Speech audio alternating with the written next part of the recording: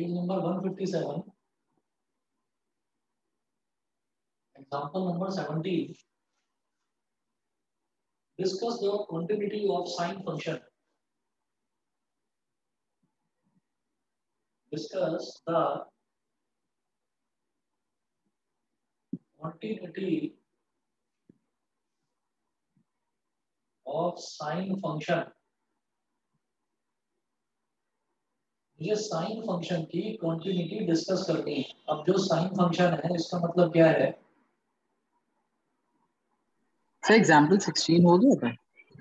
Example number 16 every rational function is continuous sir rational function तो continuous होगा ये polynomial function की तरह ही है जिसमें कोई न्यूमरेटर होगा और कोई डिनोमिनेटर होगा। मैं छोड़ रहा हूँ उसको कोई इसकी ज़रूरत है नहीं। ठीक है? इसकी कोई ज़रूरत नहीं है। आप अगर करके भी देखेंगे तो वो कंटिन्यूअस ही आएगा। मैं कोई एक पॉइंट ले लेता हूँ एक्स इक्वल टू सी पर। आप अगर करके देखेंगे, जैसे मान लो पी एक्स है तो पी एक्स को आप A X square plus B X plus C मान लो, और जो नीचे क्यू एक्स है, उसको आप C X square plus D X square C X square plus D X plus E मान लो। तो ऐसे कोई भी आप दो पॉलिनोमियल फ़ंक्शन मान सकते हैं न्यूमरेटर में और डिनोमिनेटर में। और फिर करके देखो। चलो, मैं करवाता हूँ सेवनटीन के बाद। पहले ये देख लीजिए। Discuss the continuity of sine function F X is equal to sine X अब अगर इसके कॉन्टिन्यूटी डिस्कस करेंगे तो हम ये करेंगे let's check its continuity let's check its continuity at X is equal to C तो लेफ़्ट हैंड लिमिट निकालेंगे L H L at X is equal to C fx is equal to the limit x tending to c minus fx is equal to limit h tending to 0 f c minus h तो ये तो left hand limit निकालते time ये वाला यहाँ तक का जो हमारा स्टेप है यहाँ तक तो स्टेप सारे सेम होते हैं उसके बाद उसके बाद मैं कहूँगा कि limit h tending to zero अगर x था तो sin x था। अब c माइनस एच है तो साइन c माइनस एच हम ये कहते हैं कि जब भी कभी लिमिट को सॉल्व करते हैं तो जितना सिंप्लीफाई हो सके, जितना एक्सपेंड हो सके, उतना करना चाहिए। उसके बाद फाइनली मुझे h की वैल्यू उसमें करनी चाहिए। तो अब आप देखिएगा कि हम यहाँ पर जब इसको एक्सपेंड करेंगे तो साइन ए माइनस बी का फॉर्मूला लगा देंगे। Limit h tending to zero sine A minus B क्या होगा? Sine A cos b minus cos a sin b. Limit h tending to zero मतलब अब मैं जब इसको एक्सपेंड कर चुका हूँ तो अब इसको और फर्दर इसमें और कुछ नहीं करा जा सकता। तो अब क्या करेंगे? जो h है, h की जगह ज़ीरो डाल देंगे।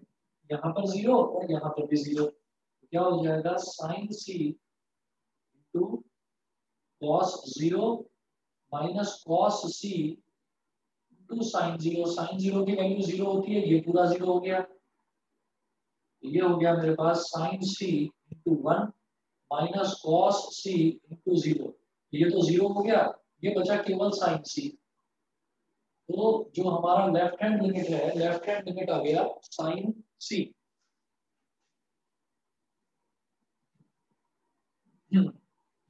अगला देखते हैं।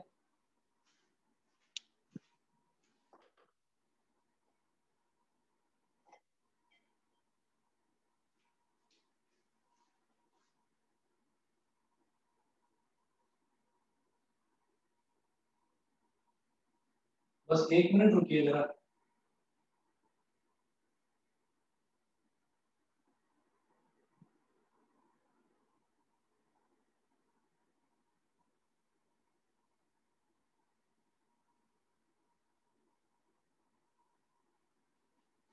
चलिए जी।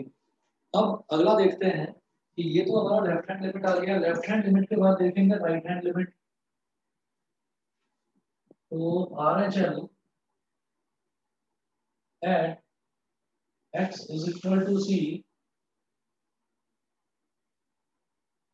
R H L at X is equal to C F X ये क्या हो जाएगा? Limit X tending to C minus F X is equal to limit H tending to zero F C minus H ठीक limit H tending to zero F C minus H फिर sorry गलत कर रहा हूँ मैं प्लस आर एच एल है ना तो सी प्लस तो सी प्लस का मतलब क्या हो गया? कि अब हमारे पास एफ़ सी प्लस एच आ गया. जब एफ़ एक्स था तो अंदर साइन यहाँ पर साइन एक्स आ गया. अब एफ़ सी प्लस एच है तो क्या हो जाएगा? Limit H tending to zero sine C plus X तो साइन ए प्लस बी का फॉर्मूला लगा दो sine A cos B plus cos A sine B limit H tending to zero sine A cos B plus cos A sine B ठीक? और इसमें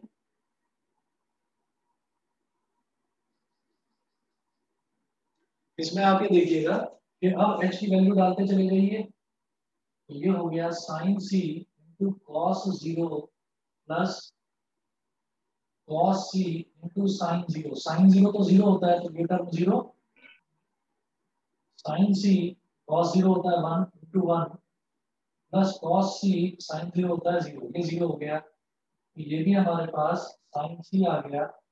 और finally अगर मैं एफ़ सी की बात करूँ तो जब F X is equal to sine X है तो एफ़ सी कितना हो गया? Sine C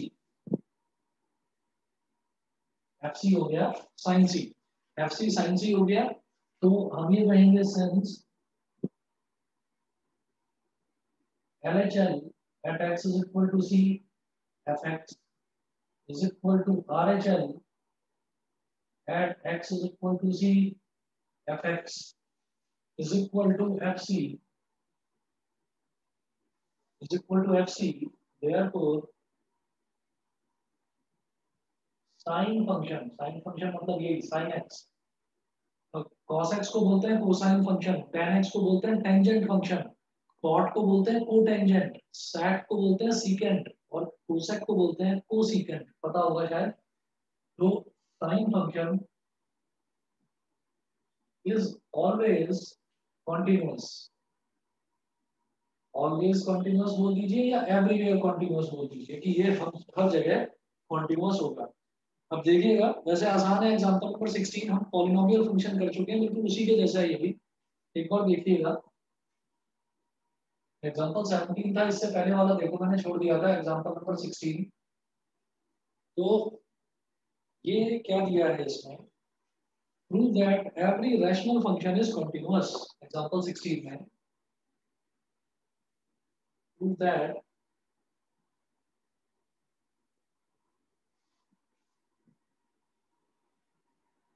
every rational function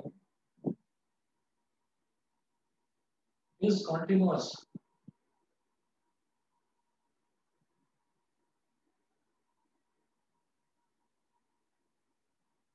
Let uh, let any rational number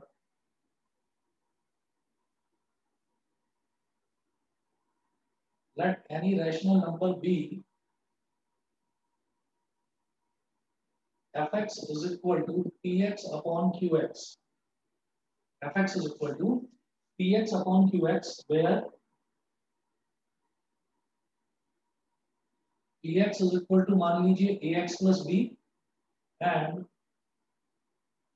qx is equal to मान लीजिए square plus dx plus e. मतलब इसको मैंने यहाँ पर x की मैक्सिमम पावर क्या है? वन है। तो ये हमारा क्या हो गया? ये लीनियर पॉलिनोमियल हो गया। और नीचे x की मैक्सिमम पावर टू है। तो ये हो गया क्वाड्रेटिक पॉलिनोमियल तो आपकी मर्ज़ी है। आप ऊपर क्वाड्रेटिक नीचे लीनियर मान लो। आप ऊपर क्वाड्रेटिक नीचे क्यूबिक मान लो। मैंने एक को लीनियर और एक को क्वाड्रेटिक क्यों माना?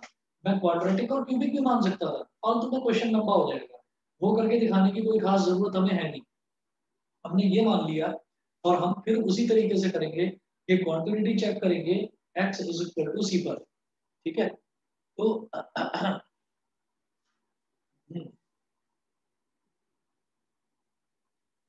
तो देखिएगा, ये हो गया। Let us check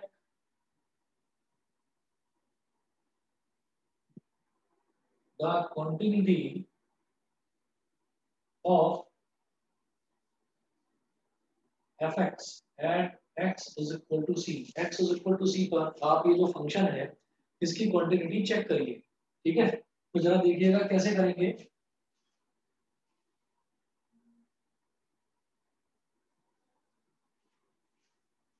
left hand limit निकालूँगा तो L H L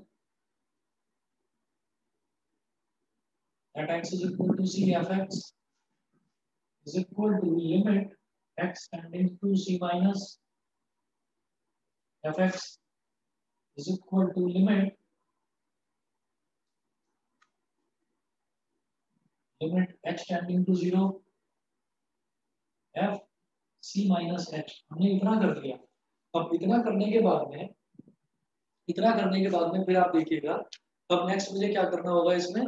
कि जैसे हमारे पास, मान लो, ये दे रखा है कि जो एफ़ एक्स है एफ़ एक्स है P X upon Q X तो अब आपको क्या करना है, जहाँ जहाँ पर एक्स है, वहाँ वहाँ पर सी माइनस एच डाल दो ठीक है?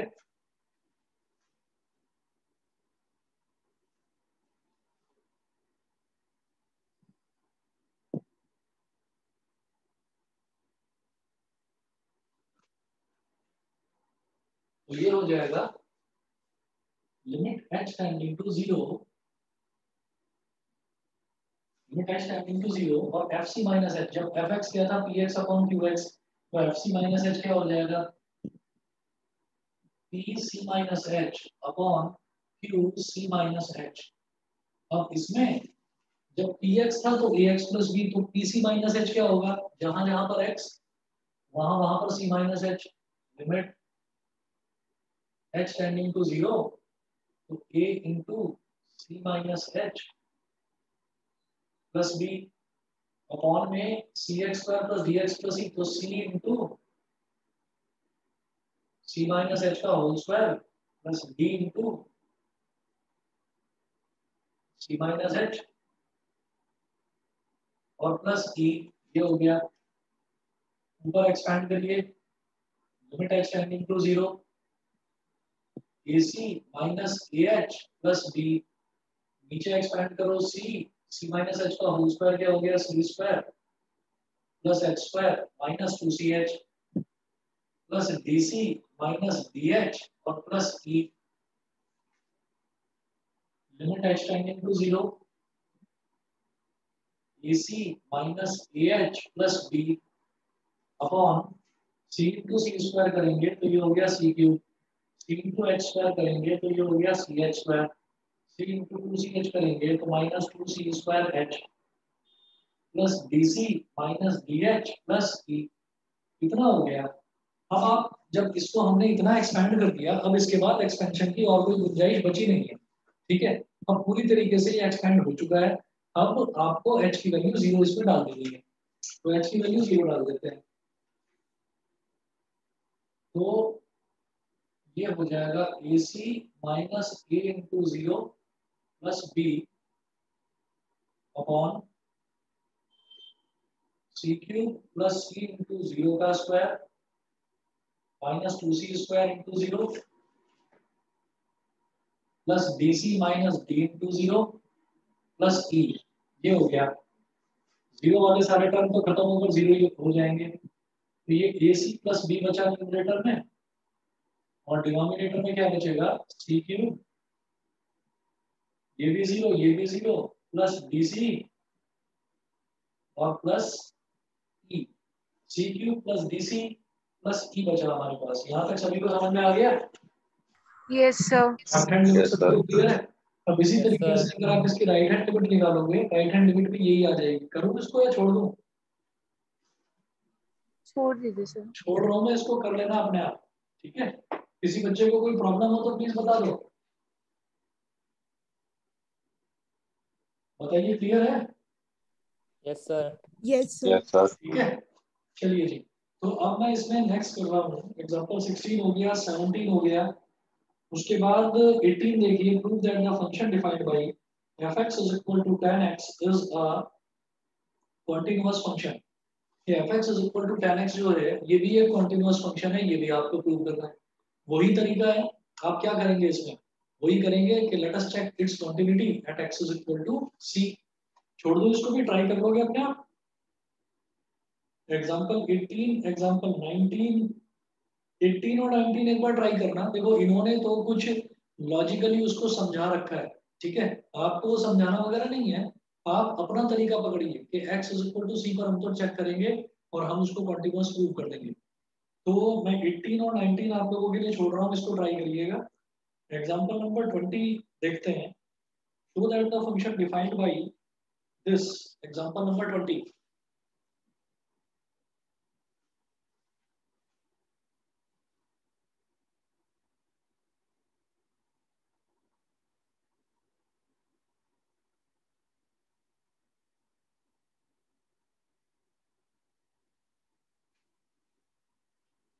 अब इसमें भी कोई पॉइंट आपको दिया नहीं है। तो कैसे करेंगे देखिएगा।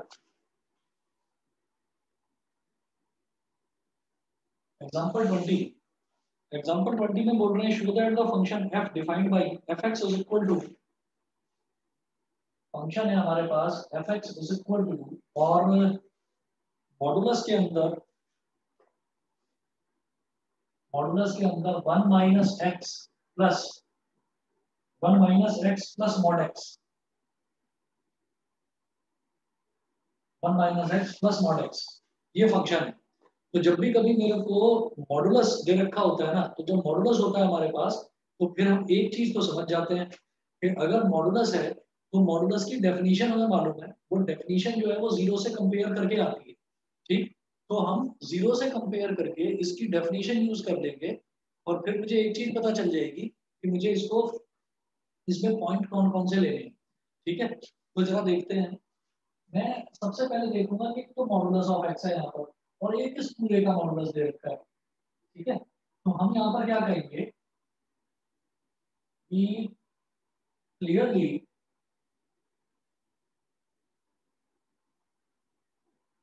f x is equal to modulus of अब इसको डिफाइन कर रहा हूँ तो दो अलग अलग तरीके से देखिए डिफाइन होगा।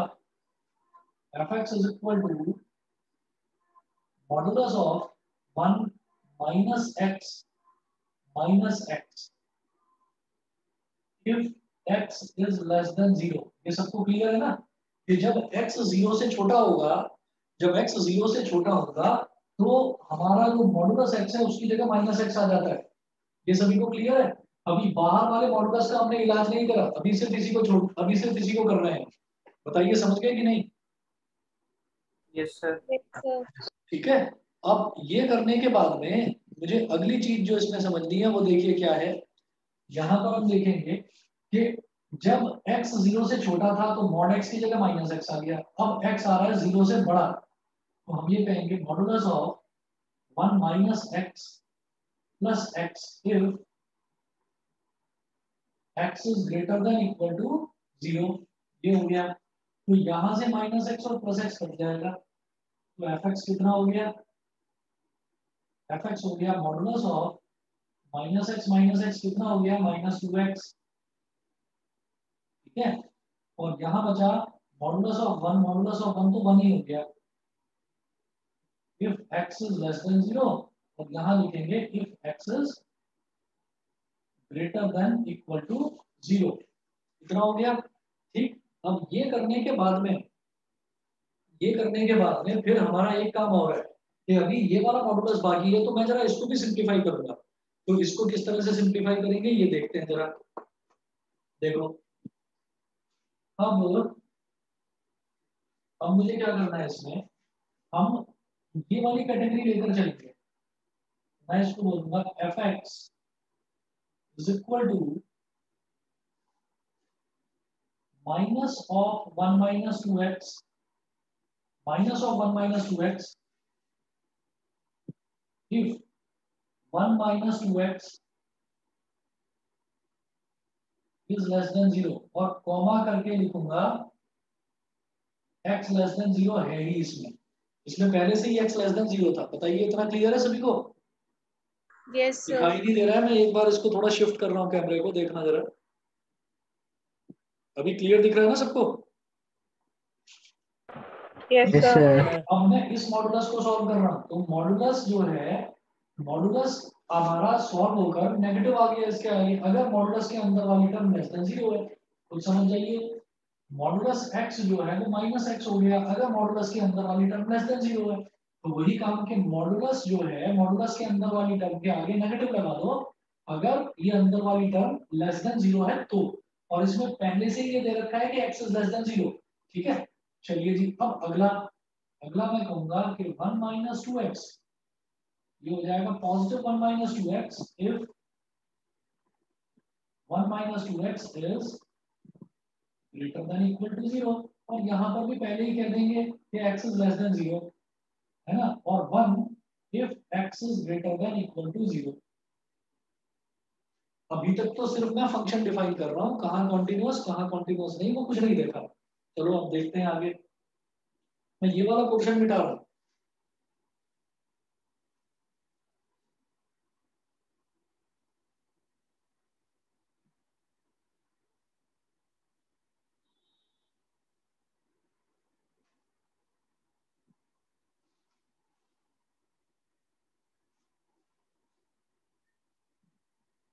देखिएगा अब क्या करना है? ये जो one minus two x less than zero है, इसको मैं जरा रफ में करके देख लेता हूँ।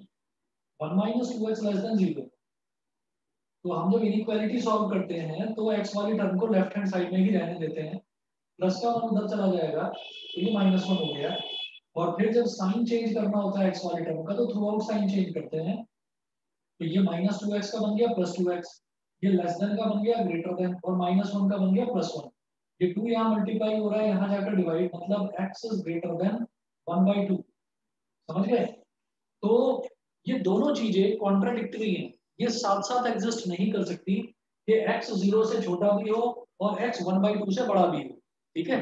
अगर x ज़ीरो से छोटा भी है और वन बाई टू से बड़ा भी है तो ये साथ साथ एग्जिस्ट नहीं करता। देखिए, आप नंबर लाइन पर इसको देखिए इधर है ज़ीरो और बेटा इधर है वन बाई टू एक चीज़ तो ये कह रहा है पहली कंडीशन तो ये है कि x is less than zero x zero से छोटा छोटा होगा।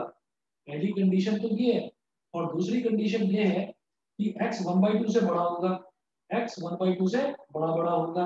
इधर प्लस इंफिनिटी इधर माइनस इंफिनिटी तो क्या दोनों में कुछ कॉमन है? हम ये कहेंगे नहीं। कोई ऐसा नंबर हो ही नहीं सकता जो प्लस वन बाई टू से बड़ा हो और ज़ीरो से छोटा हो। तो ये पॉसिबल नहीं है। तो इसका मतलब हमारा पहला वाला केस तो पॉसिबल नहीं है। तो यहाँ पर मैं छोटा सा क्रॉस लगा रहा हूँ अपने खुद के समझने के लिए। फिर दूसरे वाले केस को देखते हैं क्या ये पॉसिबल है या नहीं। तो देखते हैं, यहाँ है बेटा one minus two x is greater than equal to zero one को उधर ले जाओ। तो minus two x is greater than equal to minus one ये हो गया। थ्रू आउट साइन जो है वो कैंसिल हो जाएँगे। तो माइनस टू एक्स का बन जाएगा प्लस टू एक्स और जो ग्रेटर देन इक्वल टू है इसका बन जाएगा लेस देन इक्वल टू और माइनस वन का बन जाएगा प्लस वन बाई टू मतलब x is less than equal to one by two ठीक है? तो अब इसमें देखिए, इन दोनों में कॉमन क्या है? इन दोनों के लिए मैं अलग नंबर लाइन बनाता हूँ। मैंने चलिए यहाँ पर बना दी नंबर लाइन ये इंफिनिटी हो गया और ये माइनस इंफिनिटी तो एक तो है one minus two x is greater than equal to zero तो इसको सॉल्व करके मेरे पास आया x is less than equal to one by two इधर ज़ीरो लिखो, इधर लिखो one by two x one by two के बराबर भी हो सकता है और उससे छोटा भी हो सकता है। ये हमने शेड कर दिया। और दूसरी कंडीशन जो पहले से ही मेंशन्ड है कि x is less than zero कि x ज़ीरो से छोटा छोटा होगा तो इस वन बाई टू से छोटा छोटा और ज़ीरो से छोटा छोटा में कॉमन क्या है? ज़ीरो से छोटा छोटा। ये समझ में आ गया सबको? Yes, sir. ये सभी को समझ में आ गया? तो ये वाली कंडीशन हमारी ट्रू हो गई लेकिन इसमें ये दो अलग अलग रेंजेस ना लिखकर एक ऐसी रेंज लिखेंगे जो दोनों कंडीशंस को सेटिस्फाई करे। अगर x ज़ीरो से छोटा छोटा ले लूँ, यानी कि simply x is less than zero ले लूँ तो फिर इसकी फ़ंक्शन की वैल्यू आ रही है वन माइनस टू एक्स तो मैं बोलूँगा, यहाँ से हमारा एफ़ एक्स आ गया one minus two x comma if zero से छोटा छोटा if x is less than zero ठीक है? And one if x is greater than equal to zero बताइए बेटा जो हमने फ़ंक्शन डिफाइन करा है ये सबको समझ में आ गया? यस सर यस सर ये सभी Yes, को समझ में आ गया किसी को प्रॉब्लम तो नहीं। प्रबल कनिष्का ईशान हर्षित एकांश दृष्टि बताइए। ठीक है? ठीक है वंशिका यस सर अनुभा अक्षत। आ गया सर आगे देखता हूँ मैं। तो हमारा फ़ंक्शन ये आ गया। ये सारी कहानी मैंने रफ में करके देख ली। ये वो वाली चीज़ है जो हम लीनियर इनइक्वालिटीज में इलेवेंथ में पढ़कर आए ठीक है तो उससे मैंने ऐसे करके देख लिया। तो अब इसको फर्दर आगे सॉल्व करूँगा मैं यहाँ पर आगे। तो यहाँ मुझे ये दिखाई दे रहा है कि इस फ़ंक्शन में क्रिटिकल पॉइंट केवल एक है। ठीक है? क्रिटिकल पॉइंट केवल एक है ज़ीरो ज़ीरो से छोटे पर function minus two x zero के बराबर पे भी वन ज़ीरो से बड़े पर भी वन ठीक है? तो हम ये कहेंगे कि यहाँ पर मुझे केवल और केवल लेफ़्ट हैंड लिमिट निकालना पड़ेगा। क्यों? क्योंकि फ़ंक्शन की वैल्यू ज़ीरो पर वन है, यानी कि कांस्टेंट वैल्यू है वन आ रही है। और ज़ीरो से बड़े पर, यानी कि राइट हैंड लिमिट पर भी वो कांस्टेंट फ़ंक्शन है तो कांस्टेंट फ़ंक्शन की वैल्यू हमेशा सेम आती है। तो आर एच एल भी वन आ रहा है फ़ंक्शन की वैल्यू भी वन आ रही है। केवल और केवल एल एच एल निकालना है तो देखिएगा। मैं इधर कर रहा हूँ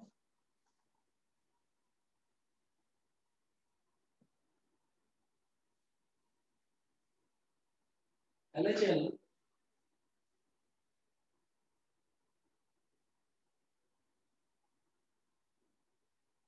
at x is equal to 0 fx is equal to limit x tending to 0 minus fx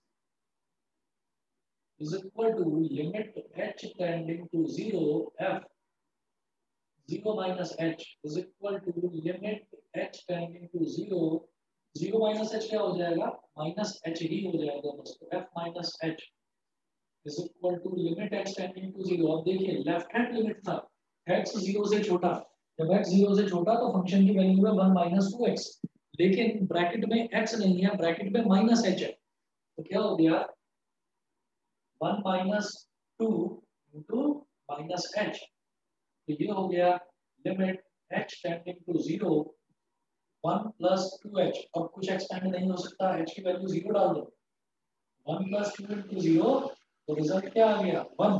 उसके बाद, क्योंकि ये कांस्टेंट फ़ंक्शन है तो कांस्टेंट फ़ंक्शन के लिए left hand limit right hand limit कुछ भी निकालने की ज़रूरत नहीं होती। तो आप ये देखिएगा कि मैं ये कहूँगा R H L at x is equal to 0 fx is equal to limit x tending to 0 plus fx is equal to limit h tending to 0 f 0 plus h 0 plus h का मतलब क्या हो गया fh तो limit h tending to 0 fh ठीक अब ये fh रखूँ कहाँ पर ये तभी तो रखता जब x वाली कोई टर्म होती x वाली जगह होती तो x की जगह ही तो हम h डालते हैं यहाँ पर ठीक, लेकिन वो तो है ही नहीं वन है तो ये तो सीधा सीधा वन के ही इक्वल आ गया। इज़ इक्वल टू वन ठीक है? और इसके अलावा ये कहेंगे कि एफ़ ज़ीरो ये भी वन के इक्वल है। तो since L H L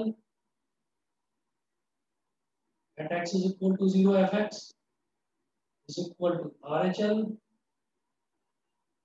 at x is equal to zero f x is equal to f zero ठीक है? ये ही एक अकेला क्रिटिकल पॉइंट था। तो मैंने ये कहा कि जब ये हर जगह आपका जब ये ज़ीरो पर जब ये ज़ीरो पर हमारा कॉन्टिन्यूस आ गया तो इसका मतलब ये हर जगह कॉन्टिन्यूस है। ठीक है? तो आ, इसके बाद मैं ये मिटाकर यहीं पर लिख रहा हूँ। सर हाँ जी बोलिए। सर वो जो फ़र्स्ट वाला केस था क्या? वो जो फ़र्स्ट वाला केस था हाँ।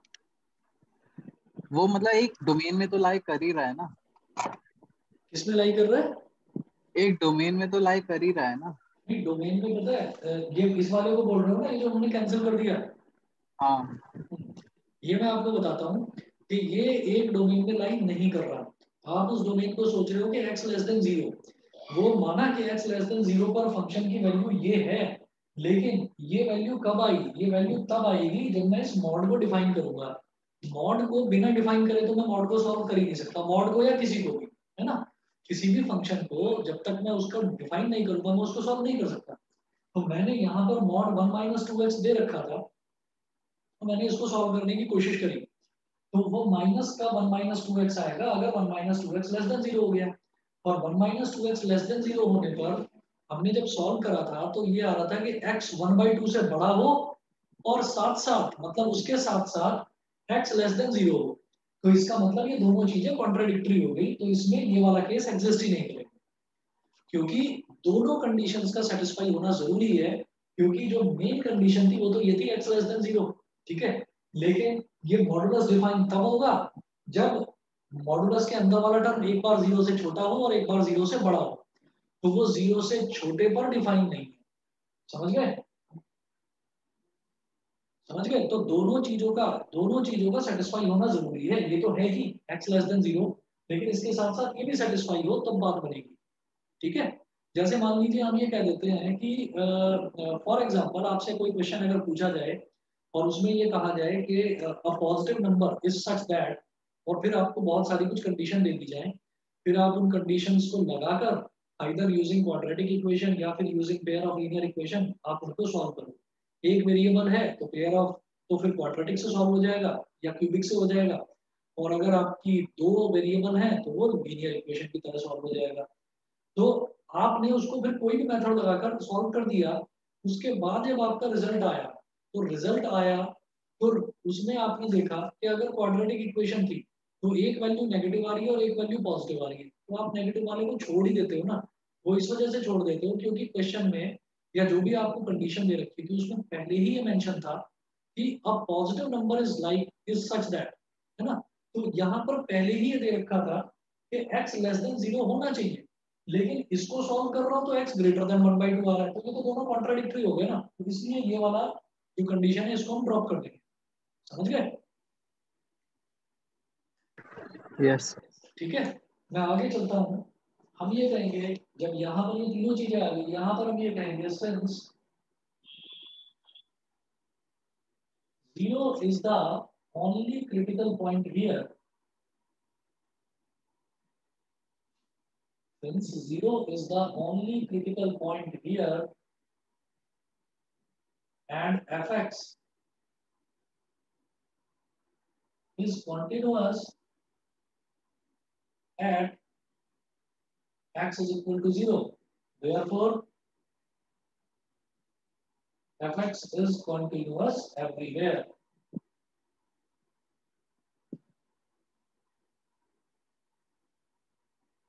fx हर जगह एवरीवेयर कंटिन्यूअस होगा ठीक है ये हमारे पास आ गया उसके बाद अब देखिए एक्सरसाइज 5.1 में काफ़ी हद तक आप लोग क्वेश्चंस कर चुके होंगे और इसी तरीके का जैसे मॉड वाला क्वेश्चन था बिल्कुल लास्ट वाले क्वेश्चन पर आ जाइए एक्सरसाइज 5.1 का आखिरी क्वेश्चन क्वेश्चन नंबर 34 अगर आप कहें तो मैं इसको करवाता हूँ और या फिर पहले आप एक बार खुद ट्राई करिएगा जैसा आपको ठीक लगे। अगर आप कहें तो मैं अभी करा देता हूँ नहीं तो पहले खुद ट्राई कर लेना एक बार। क्या बोलते हो करोगे एक बार ट्राई यस इसको ट्राई सर और बल्कि मैं कहता हूँ कि ये लास्ट के चारों क्वेश्चन ट्राई करने हैं आपको। 31, 32, 33, 34 ट्राई करना हो सकता है गलत हो जाए हो सकता है ना हो सॉल्व मैं बैठा हूँ कराने के लिए फिर मैं कराता हूँ। उसके बाद मैं रिवर्स ऑर्डर नहीं चल रहा हूँ। 31 से 34 तो पूरी आपकी टेस्टिंग हो जाएगी कि क्वांटिटी आपको समझ में आया या नहीं आया। और क्वेश्चन नंबर 30 ये मैं कराता हूँ। इसमें वो बोल रहे हैं कि ये फ़ंक्शन हमको कॉन्टिन्यूस दे रखा है। ये कॉन्टिन्यूस दे रखा है फ़ंक्शन और इसमें दो अननोन वेरिएबल्स दो अननोन टर्म्स दे रखे हैं ए और बी ए और बी तो वो ए और बी कैलकुलेट करने के लिए बोल रहे हैं तो देखो कैसे करेंगे। अभी बताता हूँ। बस एक मिनट वेट करिए, मैं पानी पी रहा हूँ जरा। अगर आप में से कोई बच्चा भी खुद करना चाहे इसको साथ साथ तो खुद से ट्राई करिए। बस एक मिनट का टाइम हो गया।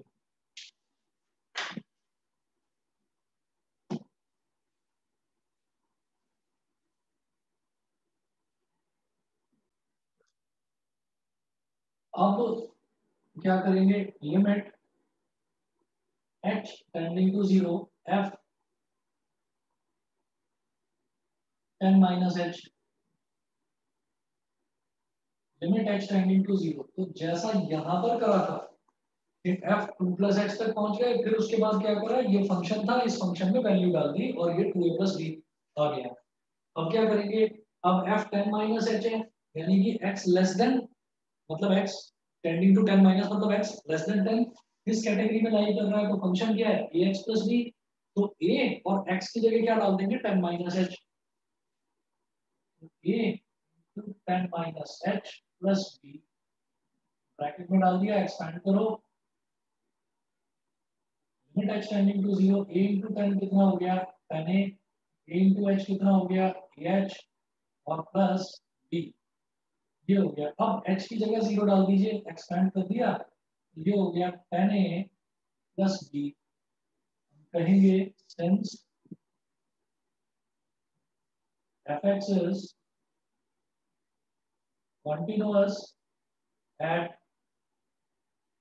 equal to 10 जब ये is equal to 10 पर भी है, हर जगह continuous है तो हम बोलेंगे LHL at x is equal to 10 fx is equal to f10 और LHL क्या निकाला हमने? 10a plus b. Is equal to f10 कितना है? 21 ये हो गई इक्वेशन नंबर टू मेरे पास एक इक्वेशन ये आ गई, एक इक्वेशन ये आ गई. दो वेरिएबल है, दो ही इक्वेशन है. मैं आराम से एलिमिनेशन से सॉल्व कर लूँगा. कहेंगे कि subtract equation two from equation one equation one में से इक्वेशन टू को सब्ट्रैक्ट करिए।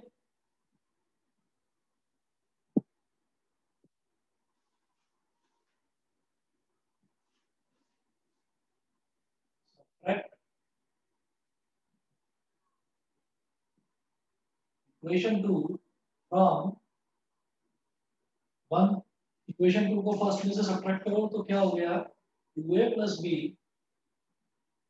is equal to five और दूसरी इक्वेशन क्या है? Ten a plus b is equal to twenty one जब सब्ट्रैक्ट कर रहे हैं तो नीचे वाले का sign minus minus minus b minus b cancel हो गया टू माइनस टेन कितना हो गया? माइनस का एट ए और फाइव माइनस ट्वेंटी वन कितना हो गया? माइनस का सिक्सटीन माइनस से माइनस कर दिया एट टू सा सिक्सटीन तो ए की वैल्यू आ गई टू अब इस वैल्यू को इक्वेशन वन या इक्वेशन टू किसी में भी डाल दीजिए। Substitute this value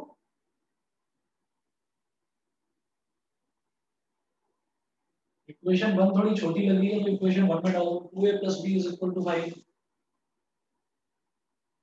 two a plus b is equal to five तो two into two plus b is equal to five तो b is equal to five minus four तो b की वैल्यू आ गई वन ए की value two और b की value one बताइए जी सभी को क्लियर है इतना?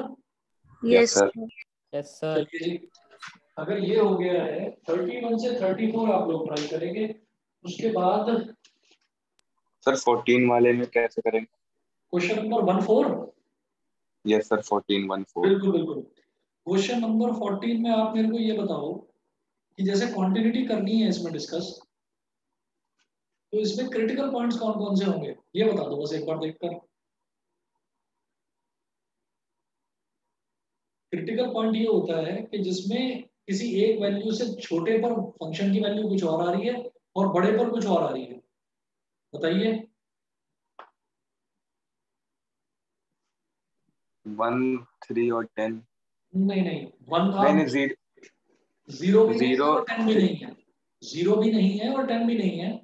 पहली चीज़ बस ये समझिए कि x जब वन से छोटा है तो तब वैल्यू आ रही है फ़ंक्शन की थ्री जब x वन से बड़ा है तो फ़ंक्शन की वैल्यू आ रही है फोर तो इसका मतलब वन है क्रिटिकल पॉइंट ठीक है?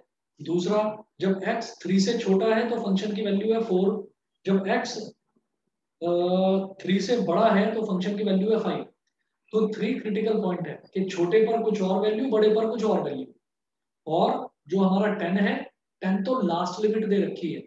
और जो ज़ीरो है ज़ीरो बिल्कुल इनिशियल लिमिट दे रखी है कि ज़ीरो से टेन के बीच में वो क्वांटिटी पूछ रहे हैं। तो आप ये कह देंगे कि ये जो फ़ंक्शन है ये ज़ीरो से टेन के बीच में कॉन्टिन्यूस होगा एक्सेप्ट एट टू पॉइंट्स दो पॉइंट्स पर डिसकॉन्टिन्यूस होगा वन पर और थ्री पर। समझ गए? क्योंकि इसको कैलकुलेट करने की ज़रूरत ही नहीं है कांस्टेंट फ़ंक्शन है। मेरी बात समझ में आ गई कि नहीं? यस yes, सर ठीक है? आप एक बार ट्राई करिए और इसमें ये दो अननोन वाला क्वेश्चन नंबर थर्टी हमने करा। Twenty six twenty seven twenty eight twenty nine मुझे ऐसा लगता है कि आप लोग अगर ट्राई करेंगे तो ये पूरी एक्सरसाइज आपसे हो जाएगी। और हो सकता है कुछ क्वेश्चन दो, चार या पाँच क्वेश्चन ना हो तो जो भी ना हो क्वेश्चन वो मेरे से पूछिएगा नेक्स्ट क्लास में। ठीक है? और सभी बच्चों से कह रहा हूँ कि अगेन फिर वही दो, चार दो, चार बच्चे होमवर्क भेजते हैं, बाकी बच्चे नहीं भेजते। तो प्लीज़ अपना होमवर्क करिए टाइम से कंप्लीट और होमवर्क भेजिए। पेपर आप लोगों के कैंसिल नहीं होंगे, याद रख लेना। दिसंबर तक की डेडलाइन है वैक्सीनेशन सबका हो जाना है। तो आप लोगों के पेपर कैंसिल नहीं होंगे, आप लोगों की क्लासेस भी टाइम से स्टार्ट हो चुकी हैं। ऑनलाइन है, वो भी टाइम से आपकी हो चुकी है क्लासेस तो इसलिए ध्यान रखना, आपके कैंसिल नहीं होंगे पेपर तो इसलिए लापरवाही बिल्कुल ना करें, कोई भी बच्चा, जो भी है, इस क्वेश्चन जितना भी थोड़ा थोड़ा होमवर्क आपको दे रहा हूँ, उसको करिए कंप्लीट और फ़ोटो खींच के मुझे भेजा करो। चलिए ठीक है। आज के लिए इतना ही करेंगे। थैंक यू सर कौन से क्वेश्चन तक करना है होमवर्क में? बेटा एक्सरसाइज 5.1 कंप्लीट तो जितना आपने कर लिया वो तो आप भेज चुके होगे मुझे। ठीक है? और बाकी के जो क्वेश्चंस हैं वो आप करके भेजिएगा।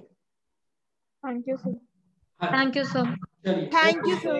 Okay thank you sir okay